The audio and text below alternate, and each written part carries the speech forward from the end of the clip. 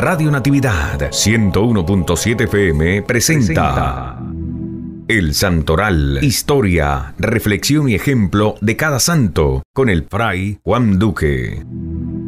Hoy es 11 de marzo y la iglesia recuerda a los mártires de Sebaste. Fue en Sebaste en el Asia Menor a comienzos del siglo IV. La noche parece hielo. Heraclio, centinela, aquella noche, alarga la mirada y ve a unas personas que caminan en dirección del lago helado.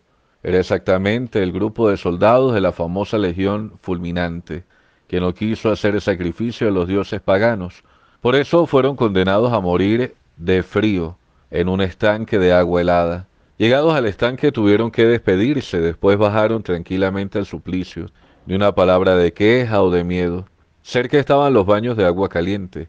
El centurión repetía de vez en cuando, todavía están a tiempo. Quien se resuelva por nuestros dioses, que pase el agua caliente.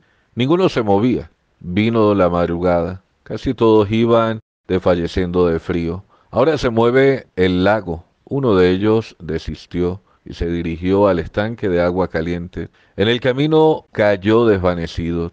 Heraclio levantó los ojos al cielo oscuro y vio cuarenta coronas en medio de una claridad. Mas, ¿no eran treinta y nueve los ajusticiados? Se preguntó a sí mismo. Aquella que sobra debe ser para mí.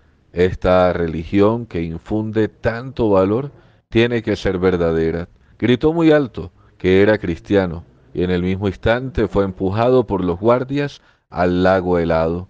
Era el cuadragésimo mártir para él era la cuadragésima corona. En la palabra de Dios encontramos. En el capítulo 8 de la carta a los romanos, versículo 35 al 39, hallamos, ¿quién nos separará del amor de Cristo? La tribulación, la angustia, la persecución, el hambre, la desnudez, los peligros, la espada. Como dice la Escritura, por tu causa somos muertos todo el día tratados como ovejas destinadas al matadero, pero en todo esto salimos vencedores gracias a aquel que nos amó. Pues estoy seguro de que ni la muerte, ni la vida, ni los ángeles, ni los principados, ni lo presente, ni lo futuro, ni la altura, ni la profundidad, ni otra criatura alguna podrá separarnos del amor de Dios manifestado en Cristo Jesús nuestro Señor.